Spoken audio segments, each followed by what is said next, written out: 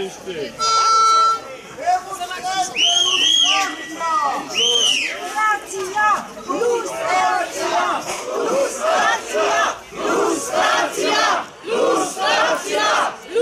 Lustracja! Lustracja! Lustracja! Lustracja! Vsi poznamo, nam bo potem še enkrat razložil naš predsednik odbora 2014, Aleš Primc. Zdaj pa, kot vedno, bomo s ponosom zapeli slovensko in evropsko himno.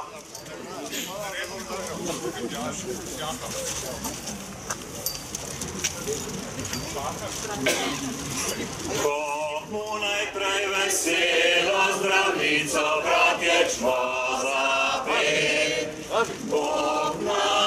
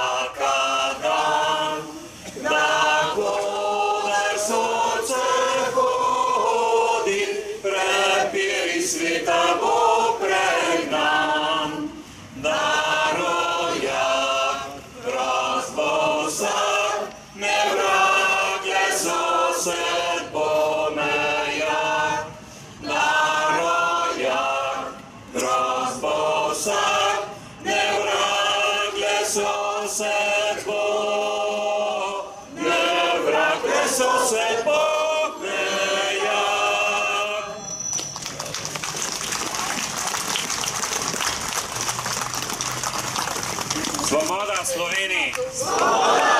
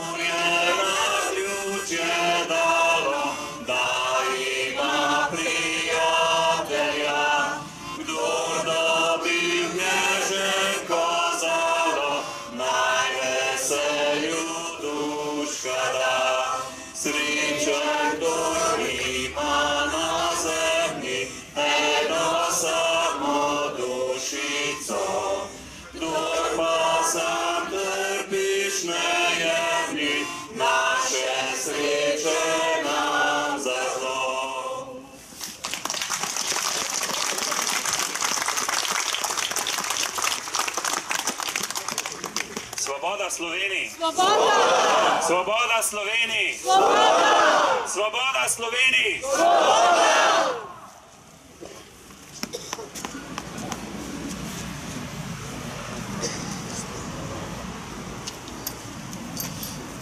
Dragi ustrajnice, dragi ustrajniki, še enkrat en lep pozdrav. Za uvod besedi vabim Toneta Kuntnarja. Bravo, Tone! Drage ustrajnice, dragi ustrajniki, dragi prijatelji. Rad bi vas danes spomnil s cankarjevimi besedami na očeta slovenske države. Na včerajšnji dan bi bil star 84 let. Oče slovenske države, dr. Jože Pučnik.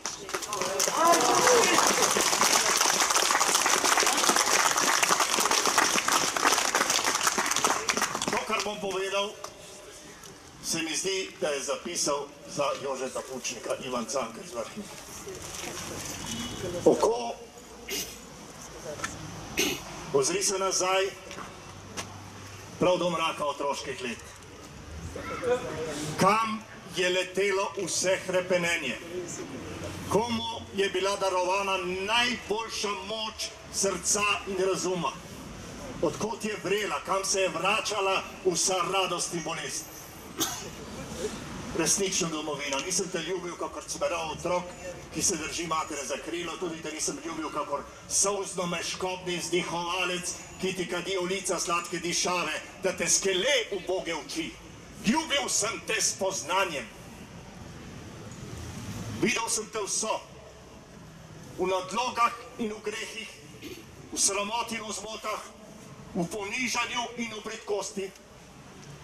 Zato sem žalosten in srdom v srcu ljubil tvojo uskrunjeno lepoto. Ljubil jo stokrat više in stokrat globje od vseh tvojih trubadurjev. Moje delo je knjiga ljubezni. Odprije domovina, da boš videla, kdo ti je pravičen sin. Dal sem ti, kar sem imel. Če je bilo veliko ali malo, Bog je delil, Bog razsodi. Dal sem ti svoje srce in svoj razum, svojo fantazijo in svojo besedo. Dal sem ti svoje življenje. Kaj bi ti še dal? Predlagam minuto molka.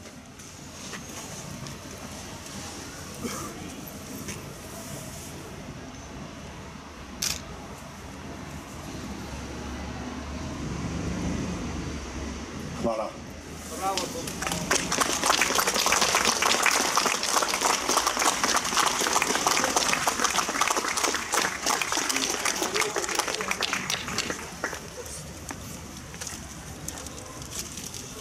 In sedaj z velikim ponosom babim besedi Gorazda Pučnika.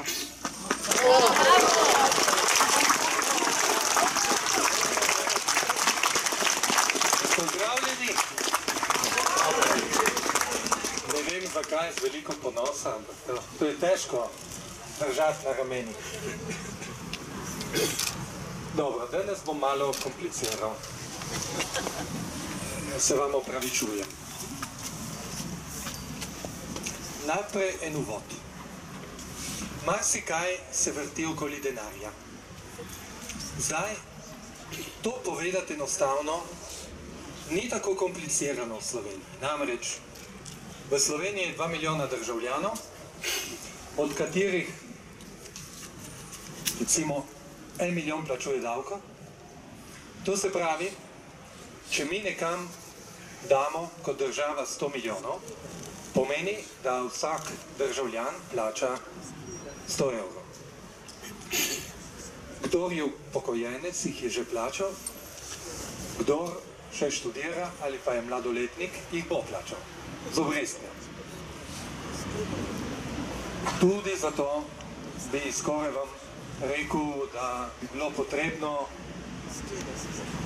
bi bila potrebna minuta molka, ampak dobro. Zdaj tako, še enkrat, ker to zgleda komplicirano, ampak ni. Če država nekam da eno milijardo, vsak izmed nas da tisoč evrov. Ali pa če želite in delimo tudi na dojenčke in upokojence, to pomeni 500 evrov.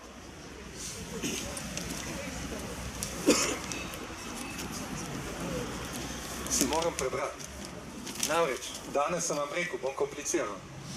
5, 50 ali 500 evrov. Kje so tisočaki? Mi pa govorimo o centih. In morali in o tem, kako smo lumpi.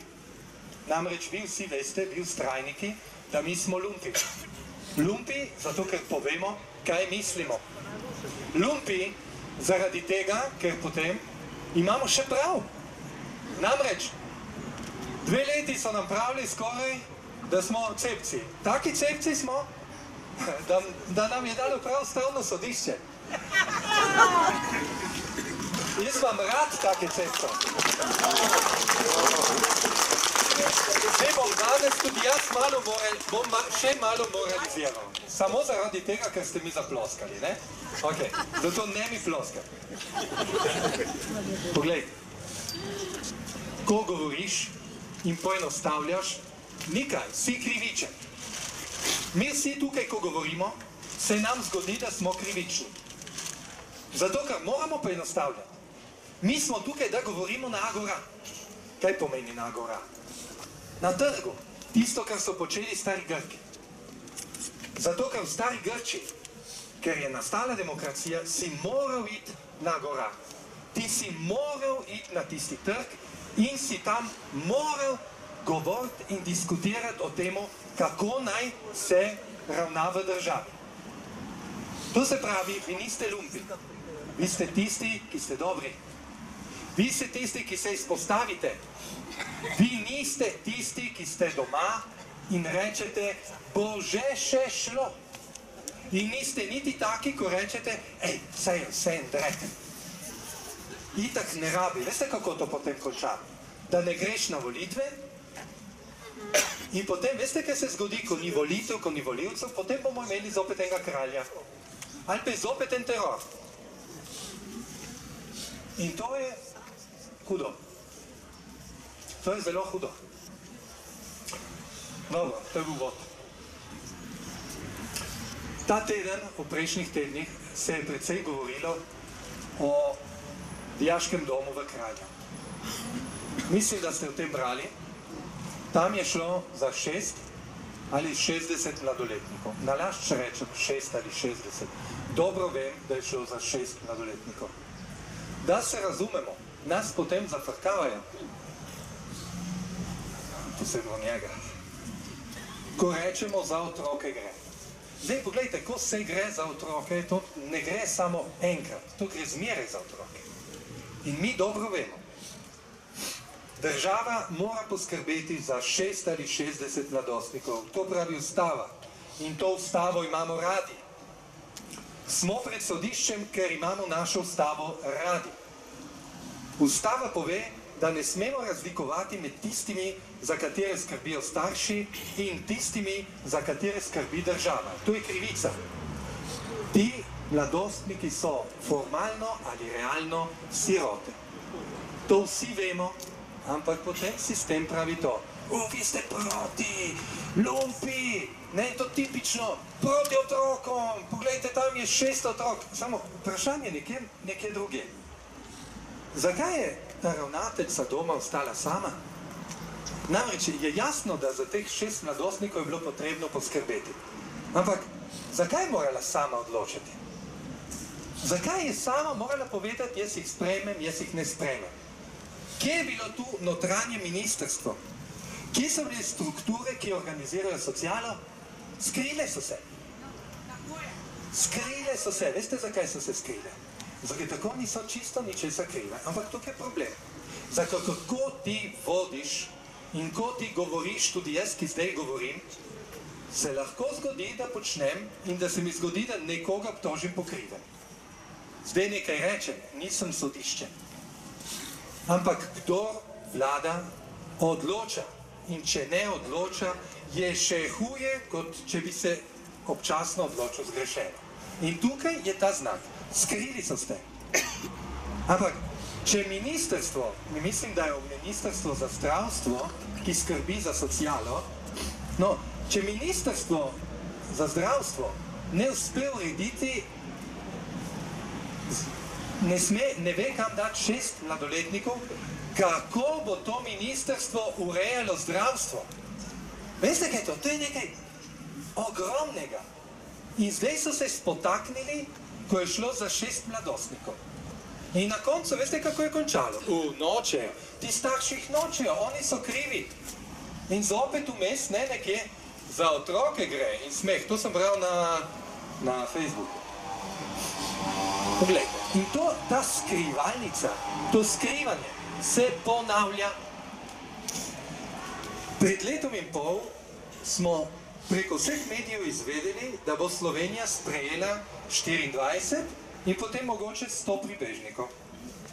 V tem času je samo na meji med Trstom in Gorico vsak dan prišlo v Italijo od 100 do 300 pribežnikov. To se pravi, teh 100 ali 300 pribežnikov je prišlo iz Slovenije v Italijo. To pomeni, da je bilo v Sloveniji, to pomeni, da je prišlo v Slovenijo. No, potem niso hodili samo uh, v Italijo, ne, preko Trsta, Gorice ali, ali pa Trbižev, vsi vemo, da so hodili predvsem v Nemčijo. Zdaj, dajte si vi zamisliti te številke. V teh, v teh mesecih, to je bilo pred letom pol, skoraj dveh let, v Sloveniji teh ljudi ni nihče videl. V tem času je bil najbolj pomemben dokument, če si želel čez Slovenijo brez dokumentov, vinjeta. Avtocestna vinjeta. Namreč, če ti si dal vinjeto na kombi, potem si šel. Če je nisi dal, eh, potem si plačal, potem so bile težave. Ne? To se pravi, si imel vinjeto in si šel čez. Ok, to je bilo. Ampak zata, zakaj se tega ni povedalo? Če bi se to povedalo, bi bili pripravljeni. Mi ljudje, če smo pripravljeni, smo navajeni na težave. Panika nas prime, ko se nam laže in se nam dogajajo nepredvidljive ljudi. Zdaj, dajte mi povedati, kakšna je zveza med 24 in 24 tisoč. To je približno, če kupim avto za 500 evrov ali pa za 50 ali 500 tisoč evrov. Resnično, ničle so te. Povejte mi, kakšna je povezava med avtomobilom, ki velja 500 evrov in avtomobilom, ki velja 50 tisoč evrov. Nobena. To ste dve različne stvari, ki imate samo, kar imajo skupno, so štiri kolesa. In zdaj mi dajemo vse te novice v isti lonec. Vem, da kompliciram. Potem bom skušal to nekje strati. Poglejte, ampak tako nas farbajo. Vsi skupaj. Vsi skupaj nas farbajo, zato ker mi smo normalni ljudje in ko nam govorijo o milijardah, se izgubimo. Ampak na koncu je, pogledajte, da mene za te mlade... Koliko bomo plačali za te mladostnike? 6 centov na glavo? Ok, jih bomo dali. 10 centov na glavo. Kdo ne bi dal za mladostnike, ki so sirote, 50 centov na glavo? Nihče. Vsi bomo to dali. Ampak zdaj so druga vprašanja. In kje so tisočaki od bank? Zakaj moramo govoriti o centih, ko so nam pobrali tisočake? Zato, ker se to da, tisočake, to se pravi milijarde, to se pravi tisoč na glavo. In to ni bila ena, to jih je bilo več. In kam je šla ta vrednost? In tako se skrivamo in na koncu imamo tudi krivco. In to ste vi. No, tudi vi, ne samo vi. In tako se naprej tudi krade. Ma ti ni to, to strašno hudo, ampak tako je. Zdaj veste, da bomo banke zopet sanirali. Veste. In mi govorimo o petih mladostnikih. Kje je tukaj zveza? In zdaj gremo naprej. Oprostite. Poglejte. Ne zamerim vladi, če se je Nemčija, Nemčija, Nemčija odločila, da čisto vse povabi. In tudi ne zamerim vladi, če se je Nemčija potem premislila. To je stvar Nemčije, ki dobro ve, zakaj to počne.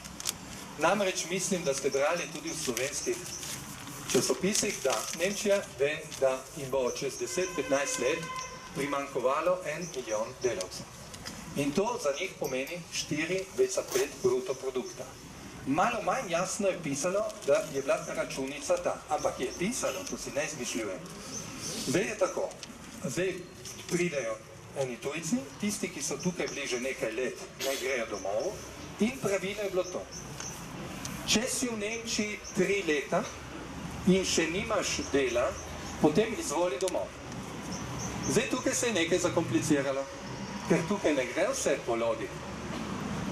Nemcem se je v Nemčiji se je zakompliciralo zaradi tega, ker tistim, ki so rekli, pojdi domov, recimo to so bili tudi državljani iz Bosne, Bosanci, ne vsi tudi na Balkanu je bilo večina, e, ti niso šli domov. Oni nočejo domov. Zakaj bi morali v Boga? In če ti tukaj ne urejaš pravil, potem ljudje te ne ubogajo. In mi to dobro vemo. Poglejte, jaz nisem bil, ampak če želite, tako formalno, moj oče je bil aslender. Ali gastarbajter, kam želite. Ne? In vemo, kako je bilo tam. In mogoče tudi kdo izmed vas sem pripričan, je že nekje delal tujini. In ve, kako je to. In haut sem slišal. Ne? Zato vemo, da gremo gor za to, da bi delali. In nas figo briga, kaj nam reče. Mi se prilagodimo in skušamo preživeti. In kdo živi pred revščino predvsem, in tisti, ki živi pred, beži pred vojno, figo, da se bo vrnil domov. In tukaj se je zakomplicirano. Opa, Nemčija je rekla, a ne, zdaj stavimo. In kaj se je zgodilo, ko so ustavili? Je zopet meja, zdaj se res meja, ma pustimo, ni problem meje. Problem je, da Nemci so bili pripravljeni nekaj delati. In Nemci dobro vedo, zakaj to delajo. Jaz to razumem, to so računice, to niso edini, to, uh, temu pravijo realpolitik. Ne? Ali, dobro, ampak mi vemo, kaj počnemo. Mi vemo, kaj počnemo. Ne, ne vemo. Ne vemo. Ampak računi pridejo vseeno. In mi smo se znašli, kot Slovenija, na tej avtocesti pri Brežniku. In ko si na avtocesti, je fajn, da kasiraš, ker so vinjete. Ampak potem niso samo vinjete, ampak je tudi vse ostalo. In namesto, da bi se zavedali, da smo majhni, da smo manjši kot Nemčija, Francija, Anglija, kar želite, in da moramo biti hitri in se odločiti, smo bili nepripravljeni. In zakaj smo bili nepripravljeni? O, in tukaj začne drugi del. To se pravi, najprej sem govoril o denarju. In o denarju, ker za nas je pomembno, ko gre za tisočake, kar pomeni za državo milijarde. In ne, ko gre za cente za mladoletnike. In smo nepripravljeni, ker imamo na vladi, nimamo na vladi nesposobne ljudi. Poglejte, zdaj da si povemo, niso nesposobni, so začetniki. So začetniki. In kot smo že tukaj govorili, to je za njih šola. In kaj se bo zgodilo? Poglejte, bom rekel ta stavek, ker vas bo mogoče motil. Ampak za me ima smisel. Upam, da po naslednjih volitvah bodo ti ljudje še vedno v parlamentu. Ne na vladi, ampak v parlamentu. Ker upam, da ne bomo zopet imeli zače, zopet začetnike. Zato, ker upam, da so ti, ki so zdaj na vladi, so se zavedali, da tisti, ki jih je povla, povabil na vlado, jih je povabil tako, da mi je dal oblast v roke. Ampak to oblasti mi ni dal direktno, ampak je rekel, čakaj, ti dam en košček in drugo ti bom povedal pozneje, da ti ljudje, ki zdaj plačujejo, ki imajo te glavo bole, da bodo rekli, imam poln kufr teh ljudi, ki me komandirajo in ostanejo stalno od zadaj. Zato, ker pogledajte, eden niti v Sloveniji se ne zbudi čez noč in naenkrat zmaga volitve. To se ne dogaja, to se ni nikoli zgodilo, to moraš delati na temo. Oprostite, samo Demosu se je to zgodilo. Ampak to je bila ena druga zgodba. In da ne bo dvoma, tudi v Demosu so bili sami začetniki. Ker je bilo tako, niso bili nikoli v parlamentu, niso mogli biti, ker parlamenta ni bilo. Oprostite, na strani Demosa. Na drugi strani so bili že prekanjeni zajci. Ampak zdaj, kaj se dogaja? Zdaj imamo začetnike, ki se ne odločajo in potem, kot smo že večkrat povedali, se bo te začetnike zamenjalo. Ampak med tem časom milijarde letijo. In milijarde, tiste, veste, tiste milijarde izgledajo, da so nekje v zraku in da je za tiste milijarde nekdo kriv, ker je, bo, ne vem, kje je, nad oblaki, na Marsu. Ampak ni tako. Tiste milijarde je nekdo dobil in tisto vrednost porabil. In mi bomo to plačali. Se ponovim, to je socializacija izgub. In zaradi tega grejo države vragu.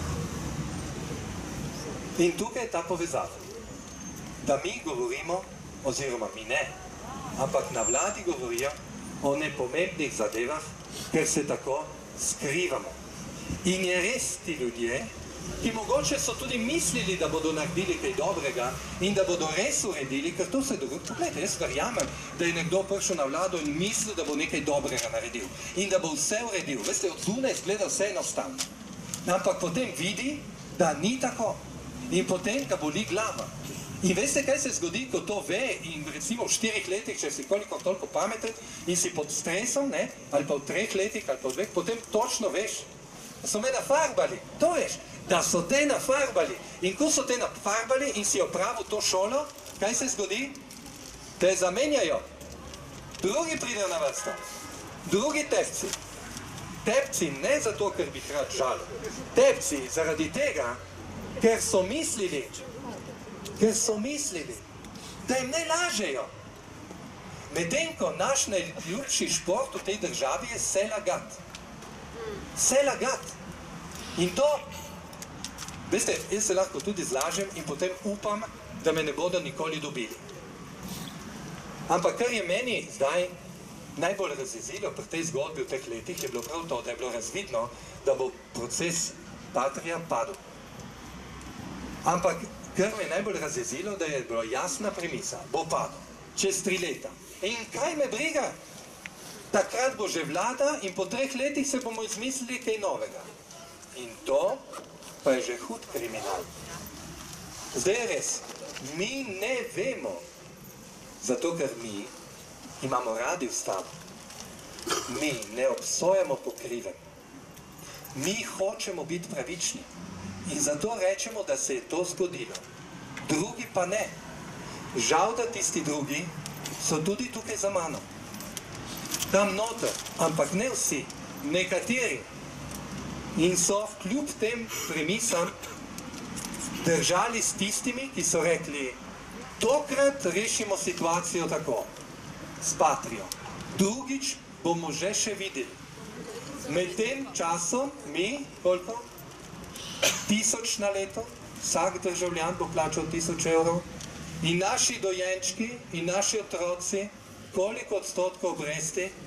In če nas te obresti sedaj tepejo, kako bo, ko bodo obresti zrasle, danes je dragi izničil obresti. Danes, danes so obresti v Evropi nične. Ampak veš, mislite, da bo vedno tako? Kdo izmed vas se spominja 20 odstotno obrest? Obrestno mero, 20 odstotno inflacijo. Jaz se spomnim inflacijo, ki je bila 100 odstotna.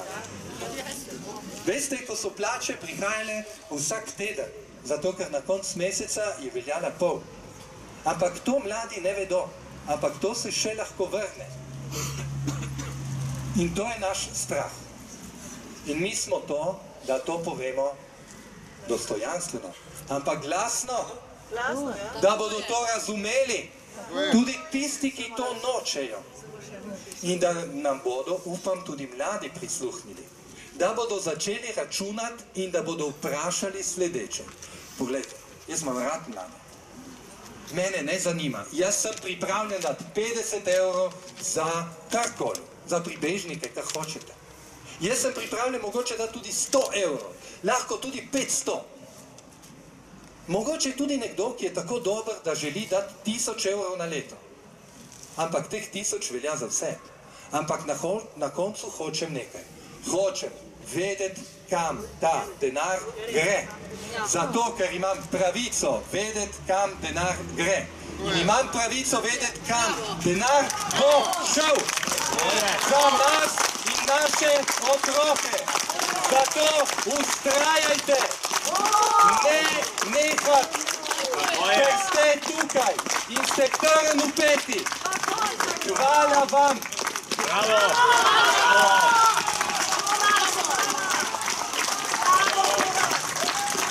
Hvala, Goran. Zdaj bomo pa malo zapeli.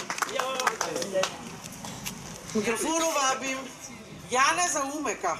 Tu je brat Jožice Svete. Janez, evo, izvolite. Ja, nam bomo pa spet ena. Spet bomo ena rekli skupaj, no. Lep pozdrav. A se lahko prvo še ne pozdravim Dulna Bredica, pa Gurna Bredica. Šenčur.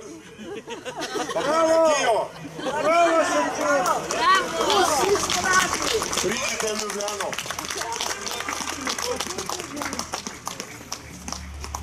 Škarjanček poješ vrgoli, se bilga dniva veseli. Škarjanček poje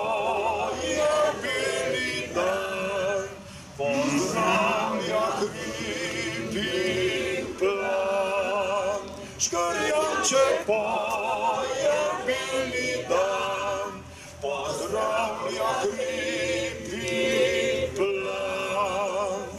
Škarjanček poješ vrgoli, ker tebe kmetiš gor budi. Lev pa pojď kusit, ker se želila si bit. Le vstani, pa pojď kusit, ker se želila si bit. Škarjanček poješ vrgoli, ker tebe kvidič gor vodi. Le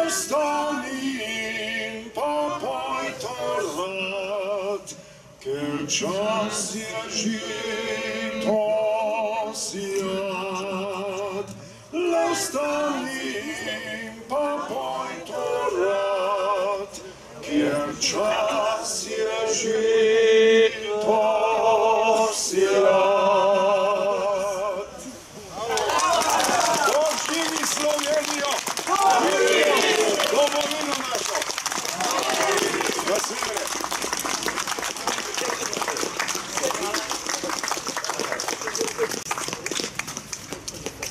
In zdaj, tako kot vedno, težko pričakovani predsednik odbora 2014, Aleš Primc.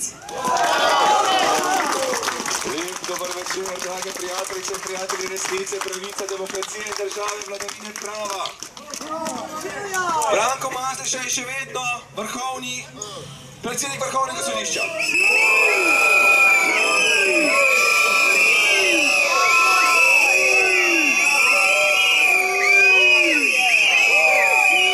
Zvonko Fišer je še vedno generalni državni tožilec.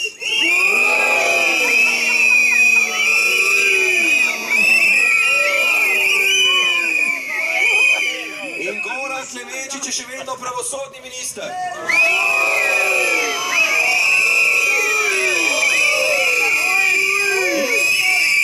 Mi smo še vedno tukaj. Danes je pomemben nashod. In sicer v tem tednu je vlada začela delati. Odpustila je sedem policistov. Odpustila je sedem policistov, ker so dali pihati enemu ministru.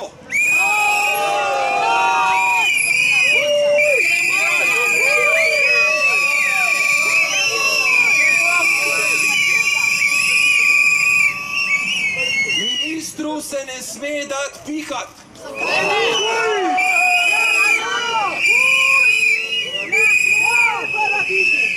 Miro Cerar je rekel, prav je.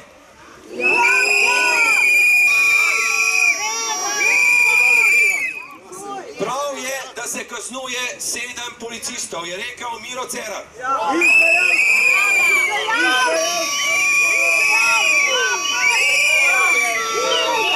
Sedaj nas pa zanima, koliko ljudi je izgubilo službe zaradi treh milijard kraje v slovenskih bankah. Krajeni so bili. Koliko ljudi je izgubilo službe zaradi zlorab v pravosodju?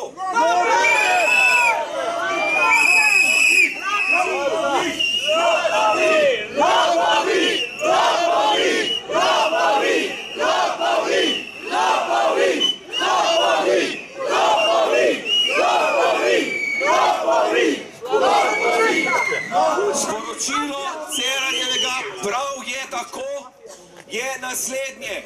Policija, pustite pri miru lopove, če so ti ta pravi. Drugače ni mogoče razumeti sporočila vlade. Imamo dokument, sklep občne seje Vrhovnega sodišča z dne 29.9.2014, kjer je večina vseh vrhovnih sodnikov v tej državi. Se strani ustavnega sodišča dokazano kršila ustavo in zakone.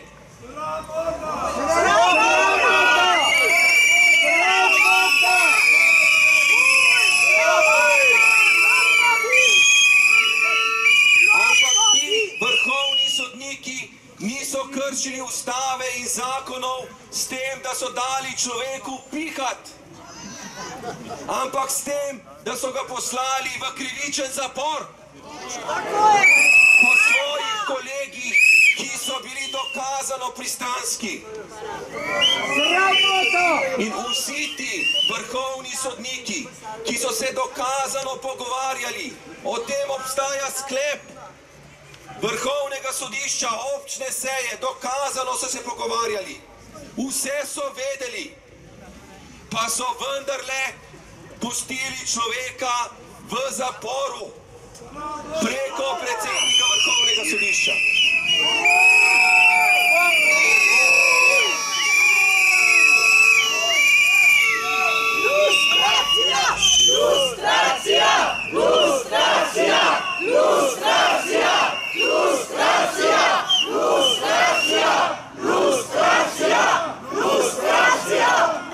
Tudi danes bomo povedali, kaj pomeni ilustracija. Ilustracija pomeni, da sodnice in sodniki, toživke in toživci, ki sistematično kratijo človekove pravice in svoboščine, tega dela ne morejo več upravljati.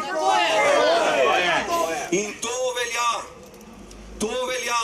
Po izreku, prav je tako, ki ga je izrekel Miro Cerar, tudi za večino vrhovnih sodnic in sodnikov.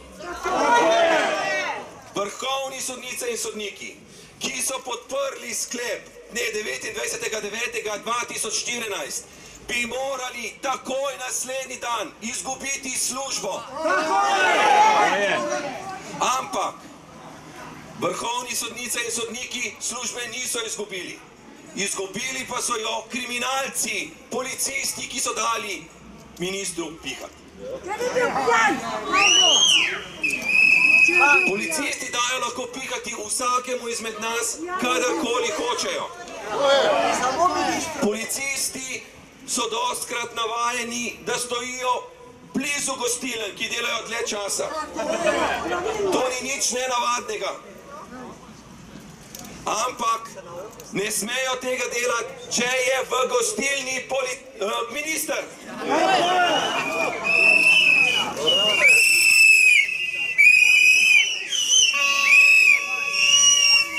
Seveda, policisti tega niso vedeli.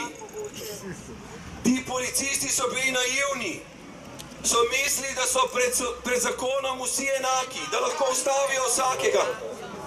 Ampak ta teden so izvedeli, da ministra ne smejo ustaviti. Lahko bi vas, vas, vas, mene, vsakega bi lahko, ministra pa ne.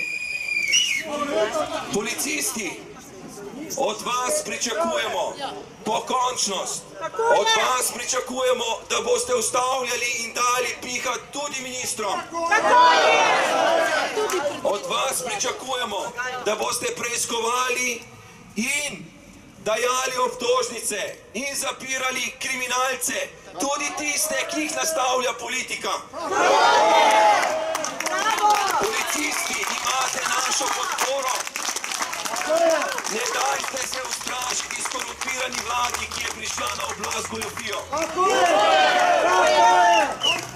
Sedaj pa dajem besedo gospe Jolandi. Bravo,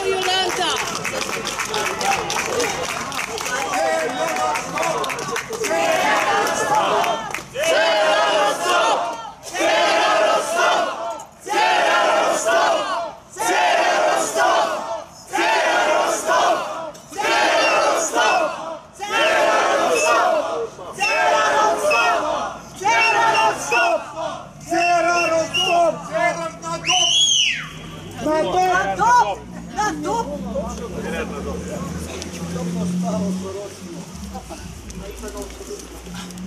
Se opravičujem. Kot ponavadi, kot vedno bom začela s pesmijo Gregorja Brejaca. Sonce je zemlji ljubček. Milijon roši zaseje. Dobre poljubčke pošilja od južnega pola do severne meje. Neskončna sončna ljubezen povije galaksije otrok, ptica, pšenica, rok. Vsi smo otroci sonca, do konca. Bravo.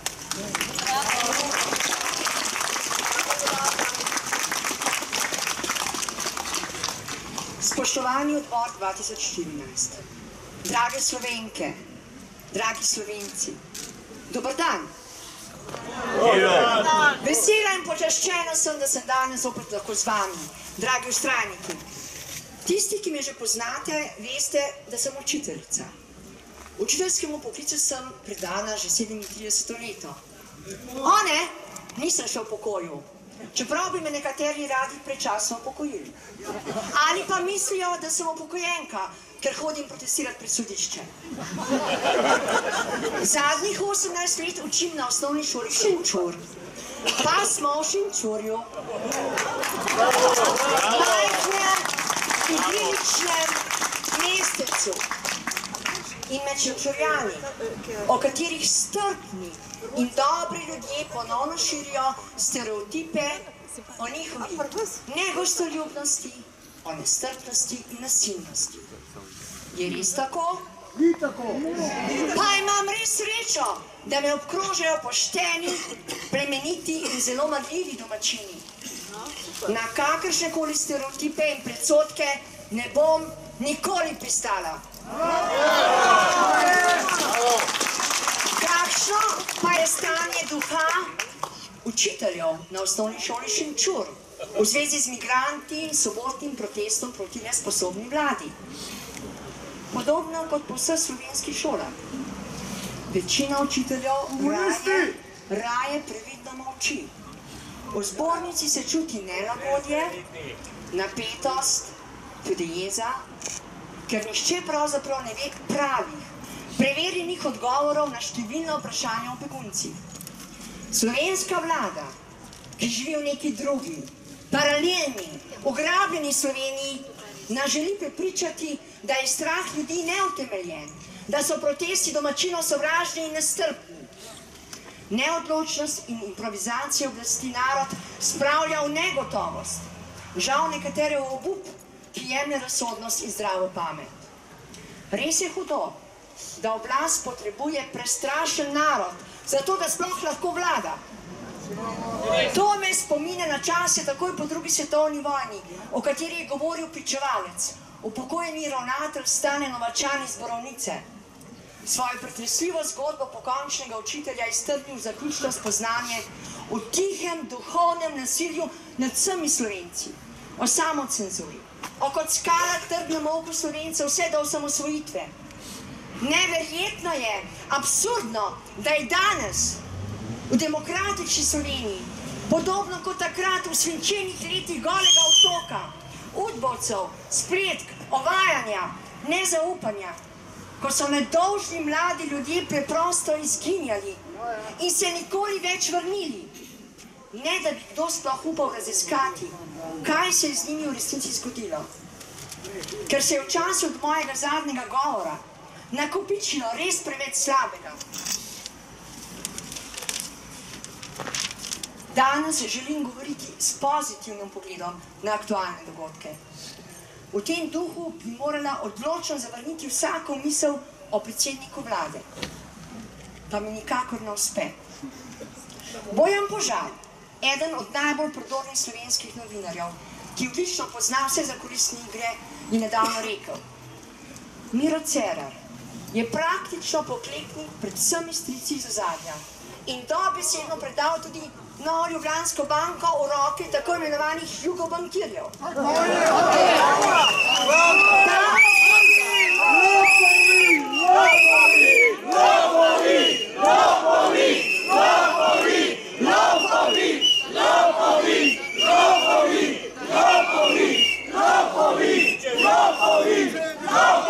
Ta omrežja, ta sedaj kradejo z vedno manj sramu, brezobzirno odkrito. Ja, slovenski bančni ropari v kravatah in polizanih frizurah z velikimi nedolžnimi očmi še kar naprej lažejo in kradejo. Le rentgenski pogled na nje odkriva majcen košček slabe vesti in strahu, da se lahko tudi njihovo plenjenje konča za več let v zaporu. Pučala v zapor!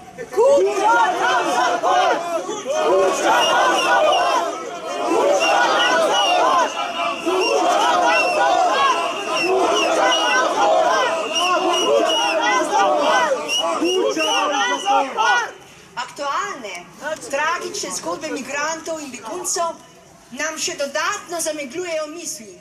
Tako da ne vemo več, kaj je tokrat usodnejše za nas. Državljanska vojna, ki jo levičari za nobeno ceno nočejo končati. Ali tokovi ogolfanih migrantov, na račun katerih bogatijo mafijske tolpe prikupčevalcev z ljudmi, z drogo in zlorabo islamske vere. Vojni dobičkari. Jasno je, da bodo bančni ropari pristali v zaporih le, ko bosta oba gospoda, vrhovni sodnik in vrhovni tožilec preprosto zapustila slovensko sodišče. Tako je! Tudi problem udirajočih migrantov bomo rešili le, če bomo državljansko vojno končali. Čisto za res, v srcih in na papirju. In ko bodo vsi slovenci odstranili strašne žičnate ograje v svojih glavah.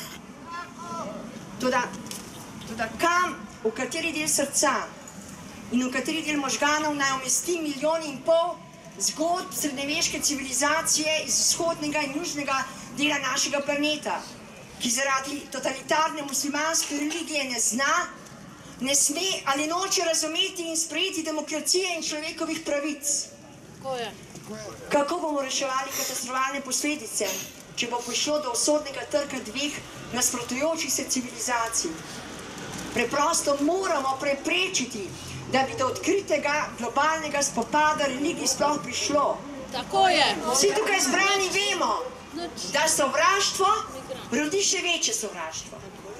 Toda katero super orožje je po učinku enakovredno strašanski moči valečih se tokov migrantov? Mi tukaj zbrani vemo, da le iskreno, ljubeče srce spreminja ljudi, da postanejo boljši. Svetopisanska ljubezen celo gore premika. Če se bo uresničil najbolj črn scenarij in bodo bežeči migranti, prestrašeni, bolni, bosi in lačni hodili od hiše do hiše, bomo morali najprej na široko odpriti svoje srce in potem, takoj potem še vrata hiše, v kateri bomo gostili prebežnike, vse dok- dokler ne bo mir v njihovi domovini. Tisoče mladim in zrelim moškim pa bomo pomagali, da se bodo vrnili domov in branili očetnjave. Mi, strajniki, se zavedamo, da gre za biti ali ne biti. Kdo med nami je humanist, človekoljub in kdo je humanist, blebetač. Polna usta prijaznih besed in parol ne pomagajo. Dobrodošlica tujce mora biti logično na- nadaljevanje.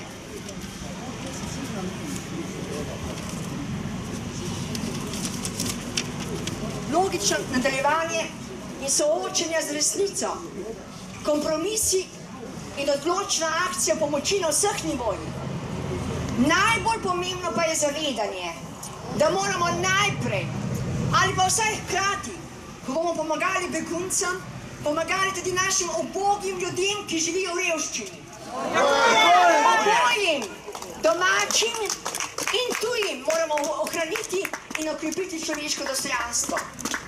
Kajti ustrajniki smo izkusili, kako sovražen je lahko mok in še bolj ignoranca ljudi, ki so poklicani, da spodbujajo k odkritemu nepristranskemu dialogu. Otroci, ženske, stari, invalidni in bolni ljudje, ki bodo upravičeno zaprosili za azil pri nas, morajo biti deležni najboljše kraljevske oskrbe. Ja, tudi zato, ker želimo oboji postati boljši ljudje. In ne samo zato, da bo manj težav. In nič ni narobe, če nas bodo prostovoljci in entuzijasti prehiteli in v žaru navdušenja, da delajo dobro, opravili tudi naše delo. Vsakdo zmore rešiti vsaj enega človeka. Saj veste, ko rešiš enega človeka, rešiš celo človeštvo. Imamo z njihovim prihodom še zadnjo priložnost, da postavimo na robe svet na trdne temelje, da zemlja ne bo iztirila, ko se bo vsaj petina človeštva zavedala, da na tem svetu nekaj velja le znanje, dobrovoljnost in pogum, bo ostalo za skrajneže vseh barov premalo prostora in želja za njihov obstoj. Želim prispevati k človečnosti, vendar ne tako, da bom ogrozila varnost in človeško dostojanstvo kogarkoli. So za stotine užaljenih in razočaranih tujcev primerna zapuščena betonska skladišča in vojaške kasarne? Jih bodo sprejeli najbolj dobri, najbolj plemeniti, najbolj solidarni slovenci, slovenska smetana, ki bo na široko odprla vrata novodobnih palač in bodo zaželeli dobrodošlico in jih gosti- gostili nesebično in neomejeno? Tu mislim tudi na člane Mirovnega inštituta, Amnesty International in druge podobne humanitarne združbe. Je begunska kriza oziroma kriza nesrečnih migrantov največji preizkus evropske civilizacije in humanosti ali gre za največjo zgodovinsko prevaro, zaroto, načrtovano med pohlepnimi mafijskimi združbami in orožarskimi korporacijami, ki jim ni nič sveto. Glede na nakopičene strahove, na levi in na desni strani moje domovine, želim poudariti, da je med nami še vedno ogromno dobrega, lepega in harmoničnega. Življenje je na kljub zlu lepo. Želim vas razvedriti z iskrenim žarom zaupanja in upanja v rešitve. Sem slovenka, ne jamram, rešujem. Zdaj pa bom tudi malce cinična. Še vedno imamo pravico do svobode govora. Lahko se zbiramo pred sodiščem. Že več kot leto in pol smemo izražati mnenja tudi proti sovražnemu govoru in še bolj proti sovražnim dejanjem. Že več kot leto in pol strajamo. Tako je, še bomo. Skrajno smo potrpešni v izražanju monologov, ker je zaradi sovražnega molka odprt dialog nemogoč. Uresničujemo tudi pobudo predsednika države. Govorimo raje spoštljivo kot žaljivo. Dogodke v zadnjem letu želim strniti s pogledom, ki hrabri, odpira boljše možnosti, ki potirajo ovire na vzponu do Triglava in potovanju do Jadrana. Globalne podnebne spremembe in prenaseljenost planeta grozita z apokalipso. Toda brez skrbi, planet bo obstal, kot vedno, bo že sam poskrbel zase. Da človeštvo ne bo potonilo, pa potrebujemo maksimalno preudarnost in potrpežljivost pri reševanju vseh ogroženih biti. Ponovno, vsakič, vedno znova bomo nekateri nastavljali še desnovice. Tudi le pod pogoji, ki zbližujejo in rešujejo. Ostati moramo zbrani, osredotočeni na dobro, vedno vsaj deset korakov pred zlom, potem bo pravica na naši strani. Kot učiteljica ugotavljam, da je učence najtežje naučiti razmišljati z lastno glavo. Toda na srečo se tudi razmišljanja lahko naučimo. Naučiti se poglobljeno misliti in razumljivo izraziti misli je najpomembnejši učni cilj v sodobni šoli. Pomembno je, da otroka navajamo na izražanje misli že od samega začetka. Naj otrok že s prvimi koraka, koraki stopa tudi v boj proti najrazličnejšim manipulacijam. Povzetek. Ljudi imam rada. Naraje tiste, ki zmorejo ohraniti iskrenost in nepokvarjenost. Navdušujejo in navdihujejo me zlasti posamezniki, ki štrlijo iz poprečja. Drugačni, pokončni, s karizmo. Zaposlena sem za nedoločen čas, brez strahu pred izgubo službe. Opravljam najlepši poklic pod soncem. Na eni od najboljših šol v Sloveniji, ki jo že dve desetletji odlično vodi ravnateljica z bogatim smislom za sodelovanje in humor. Obkrožena sem sodelavci, učenci in njihovimi starši, ki predstavljajo mojo drugo družino, kolektiv, v katerem se počutim sprejeta in zaželena.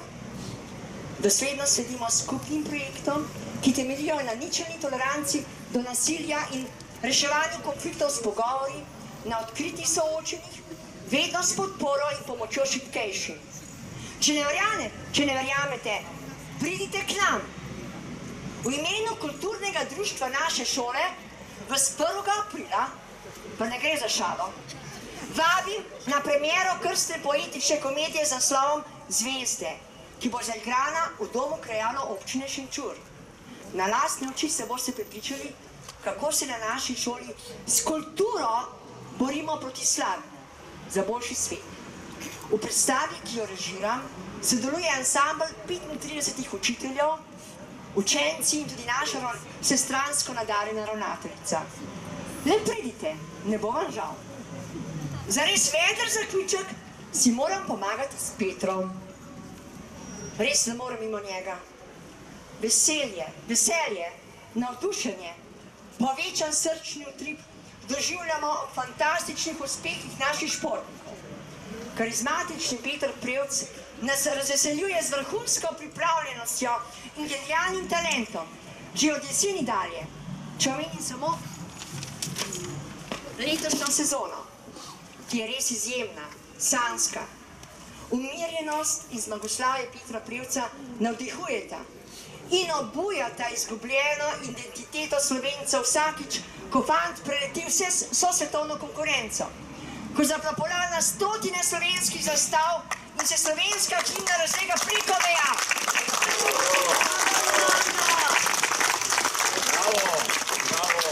Tudi takrat, ko Peter ni stal na zmagovalnih stopničkah, se je v nas prebudilo močno občutje, da smo Slovenci in da Slovenija je, tudi Evropa je, res gola in bosa, ampak Jugoslavije pa ni več. Srčno upam, da bo tranzicija že enkrat konec, da bodo bančne roparje še pravočasno zaprli in jim zaplenili pokradeno imetje in ograbljene časti. Imamo planico, Ljubljano, zeleno. Prestolnico sredi Evrope, ki nikoli ni bila in nikoli ne bo Jankovičeva. Imamo, imamo, prešir, imamo preširna in zdravnico, ki ima osem kitic. Z nami je tudi naš dragi Tone Kuntner, s čisto novo pesniško zbirko Slovenska pomlad. Imamo očeta, imamo očeta osamosvojitve, našega dragega, dragega Jožita Pučnika, ki je včeraj praznoval rojstni dan. Imamo Piran in Soline, Goričko z Vidrami in Ileni in na 30 tisoč slovenskih družin z več kot tremi otroki. Imamo tekoče zlato, vodo, ki priteče iz vodovodnih pip, čistejša kot tiste iz steklenic. Pozdravljam inicijativo za svobodo govora, ki je najboljši odmev na svet za odziv na sovražni govor. Ustanavljajo se nove stranke. Zavezniki bomo zgradili ustvarjalni lok navdiha za novo republiko. In morda bomo nekoč prav pri nas, v naši najlepši deželici v Evropi, v srcu, v srcu sveta, zaživeli v sožitju z naravo in z ljudmi različnih kultur in ver, brez džihada, brez šariatskega prava, v družbi zdravja, znanja in sreče. Hvala za svobodo duha, za svobodno Slovenijo. Hvala lepa, Jolanda Regovc. Dragi prijateljice in prijatelji, zdaj vas pa vabim, poglejte tale okna. Koliko je prižganih?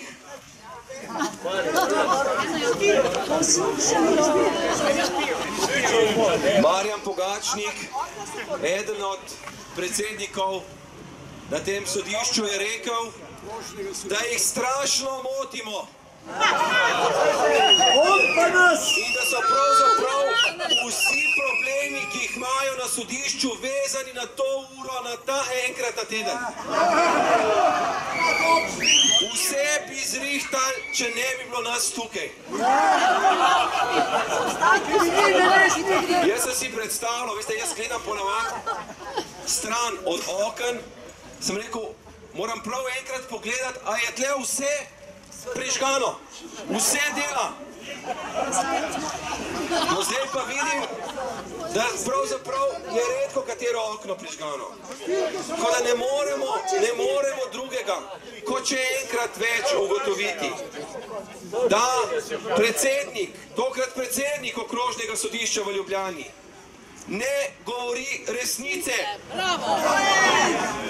Ugotavljamo, mislim, da za vso človeško verodostojnostjo na podlagi naših čutov, predvsem vida, da velika večina ljudi v tem trenutku v tej stavbi ne dela.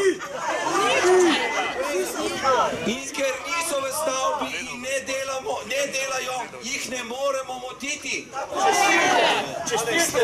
Tako da od Marjana Pogačnika pričakujemo, da se bo opravičil. Marjan Pogačnik, od vas pričakujemo, da se opravičite in da navedete na podlagi tega, da smo ugotovili, da lažete prave razloge za vaše slabo delo. Zdaj pa dajem besedo Viliju Kovačiču.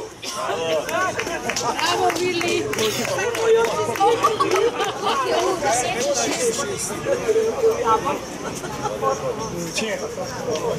jaz sem bil predviden, da bom govoril na način, da bom bral. Hotel sem prebrati moj poziv za odpoved naročine RTV in tudi za odpoved trajnega naloga. Jaz imam tole tukaj, imam tukaj 200 komadov. Kdo želi, lahko pride zdaj iskat in na naslednjič to preštudira. Naslednjič pa bomo za Ivo Žurman, jaz in ona, obrazložila vso zadevo. To bomo naredili pred RTV Slovenija, tam, kjer je pravzaprav na njih zadeva naslovljena. Uh, še nekaj, da ne pozabim, proces proti Milku Noviču je predstavljen na 23. 23. marec ob 12. Zadeve se zapletajo, sodnica je postavila zahtevo na Wiesbaden tako, da so jo oni, kot ona sama tolmači, odbili.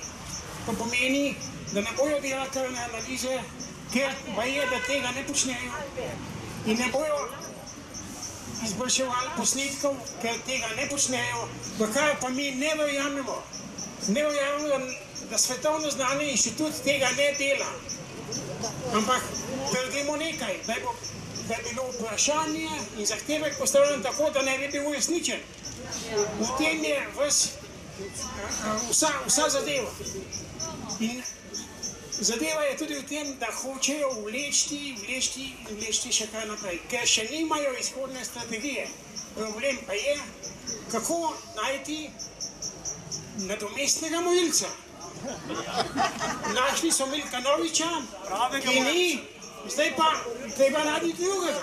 Ker pravega, pravega se ne lotijo, ga nočejo in ne iščejo naročnikov. V tem je ves problem. Skratka, ne bomo o tem govorili. Teha je treba. Bomo se videli 23. ko je naslednja sreda pol, čez 14 dni? 12. 12. Srečno. Če pa kdo želi se lahko tukaj dobi, vsak dobi lahko odstopno izjavo, na prvi strani odstop od položnic, plačevanje položnic, na drugi pa odstop od trajnega naloga. Vse je gor, preštudirajte natančno, če je kakšna pomota, pa kakšna nejasnost, boste pa drugič povedali. Hvala lepa. Vidite, to je, to je državljanska nepokoščina. Državljanska nepokoščina ni v nobenem zakonu.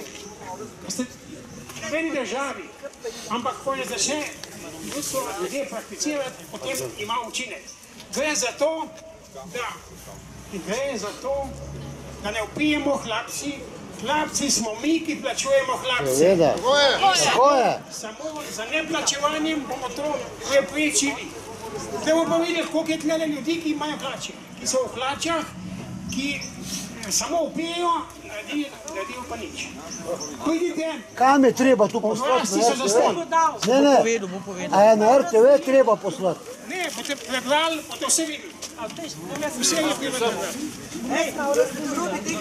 Okay. Ja, glejte, glejte, to, bo- to boste poslali samo na ta naslov, ki je napisan, potem bomo pa mi, ko bo prvih tisoč izbranih, zbranih, nesli kolektivno na RTV. Tako. To še ni končna zadeva, ker bomo delali na kolektiven način. Lahko to kopiramo. Ker, ker tu vse lahko kopiramo, pa tudi na spletni strani, ker ta zadeva, če delamo individualno, posamično se razprši, nima nobenega učinka.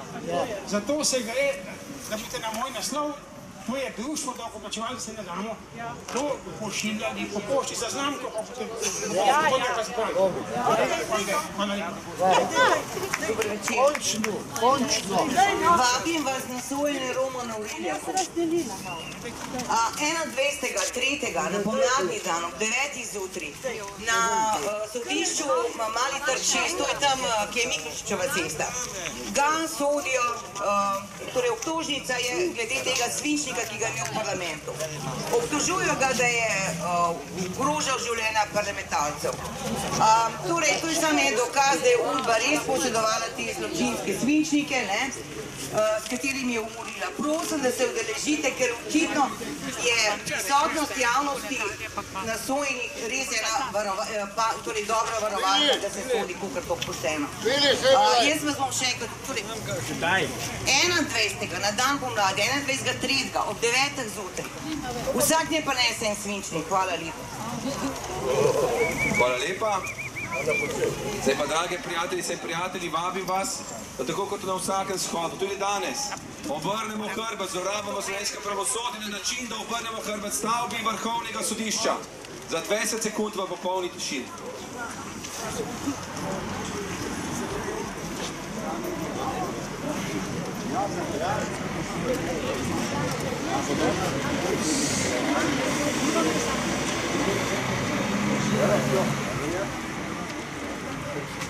Hvala lepa. Mirno, kulturno in dostojanstveno smo izrazili naše nasprotovanje zlorabam v slovenskem pravosodju in hkrati našo trdno odločenost, kar tudi že delamo, da bomo naredili vse, kar je v naši moči, da bomo slovensko pravosodje lahko čim prej spoštovali, ne pa tako, kot si je predstavljal Branko Mateša, Zvonko Fišer in Gola Klemenčič, da bi se jih morali bati. Obvestilo. Takoj po tem shodu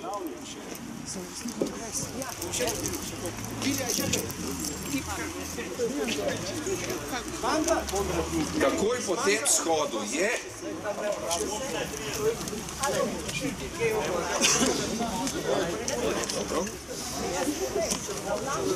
Takoj po, takoj po današnjem shodu je v Svetovnem slovenskem kongresu predavanje dr. Damina Hančiča z naslovom Re- Revolucionarno nasilje v Ljubljani 1941 do 1945.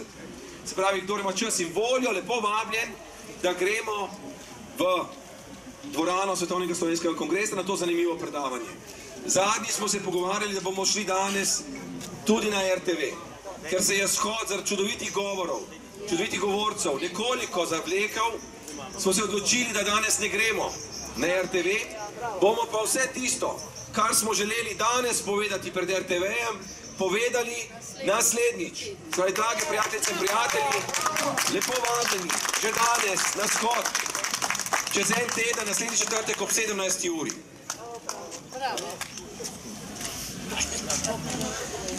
Zapojmo domovini, zapojmo prav vsi, iz vseh slovenskih src, naj pesem zazveni.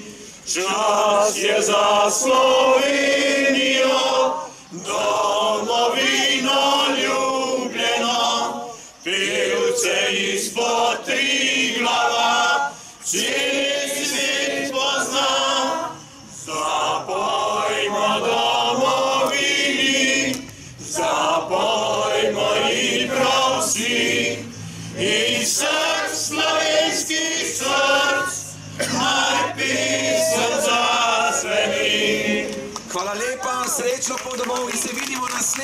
teden na znanem kraju, ob znanem času, ob 17. uri pred vrhovnim sodiščem. Hvala lepa in srečno. Bravo.